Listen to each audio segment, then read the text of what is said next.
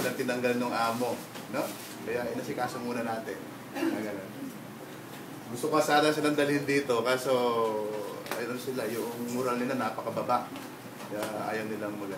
So, ang ano ko lamang, ang topic ko dito parang case presentation. Una, yung kaso nung namatay.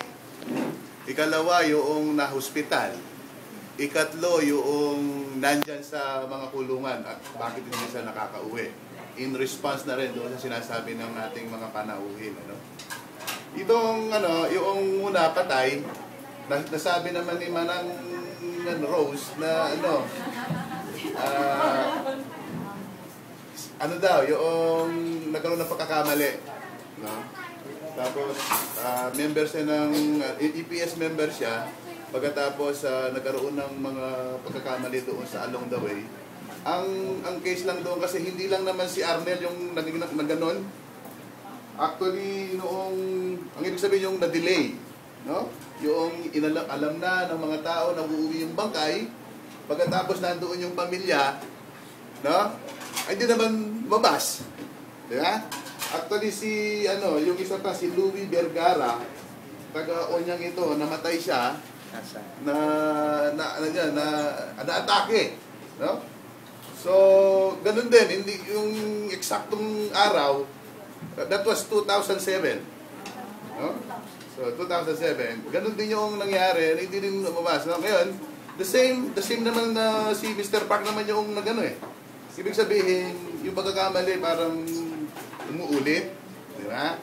Umuulit yung ano. Tapos, ang case nitong si, ano, si Louie, dahil namatay siya sa loob ng factory, ay yung kisuksa, nakakuha siya ng, ano, nakakuha siya ng insurance around 14 million won.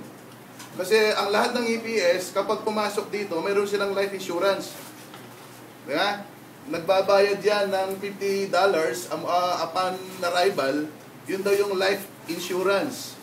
So ngayon, kung alam natin ito sa embahada, siguro naman pwede nating pukpukin yung ano yung insurance kasi hindi naman ibig sabihin na namatay siya habang nagtatrabaho, namatay siya hindi sa trabaho, kaya nga nagbayad siya ng $50 para doon sa life insurance, no? Ngayon, kung nagtatrabaho daw siya ah, at namatay, makakakuha siya ng 30 million. Parang ganun yung ano ng EPS, no? So itong si Louie, namatay sa bahay pero nakakuha siya ng 14 million. Eh itong si ano, itong si Arnel namatay mismo sa loob ng kumpanya. Ruchi. Di ba? Although sinabi nila nagpati eh, yung ano, nagpatiwakal, di ba? Pero ano yung kaibahan noong nag-suicide doon sa naatake? Kung mayroon palang life insurance, no? So ang inaano lang, ang medyo frustrated lang ako nung tumawag si ano, yung si Ro Ronaldo. Si, si Ronaldo noong linggo, sabi niya, Pastor, wala pa raw yung bangkay hanggang alas 3 ng umaga naghihintay yung pamilya. Siyempre, alam ko walang trabaho sa embassy. Ano? Noong Sunday. Ang ginawa ko, mayroong ano doon, mayroong announcement si Ma'am ano, si Ma'am Bay doon sa oh, holiday sa ano, pero mayroong hotline. So doon ako tumawag. tumawag ako doon, ang sumagot si si Consul Jerry. At ang sagot ni Manong Jerry, hindi ako humawak ng kaso na yan. No? So, pasensya ka na. At saka busy kami dito sa ano, maraming nag ng passport. Sabi ko, o sino yung pwedeng kausapin? Si Cyrus ang umawak niyan. Ah, mayroon ba kayong trabaho ngayon? Mayroon, sabi niya. O sige, mamaya na lang. Eh, di after mga, 10, na, eh, mga alas 10, tumawag naman ako sa polo. Ang nakausap ko si Jean. Ah, Jem, si Jem. ba yun? Si Jem, si. Jem.